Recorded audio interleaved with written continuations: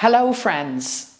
As some of you know, I had an operation in June and I've been recovering over the last number of weeks. I just want to say a very big thank you for all of the comments and support and messages that have been sent to me on social media and how much they have meant to me and how much they helped me.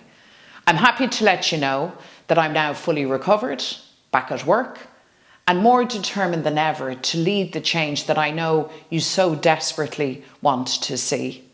Friends, we all know the huge damage Fine Gael and Fianna Fáil have done over many, many years, and it's absolutely clear that they're out of touch, out of ideas, and completely incapable of solving the many crises that we face. What I want to say to you today is that Sinn Féin is ready to lead. We have the team, the energy, the policies, and the passion to bring about the real change for you, your family, and your community. And at the centre of that change is housing. The housing crisis has touched every corner of our lives in devastating ways, none more so than for the generation of young people completely locked out of having a home they can afford. And for so many, this has meant leaving Ireland.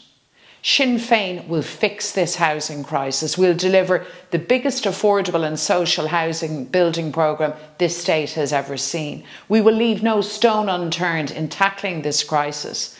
And if I'm given the honour, after the next election, to lead government and become Taoiseach, I will make housing the number one priority.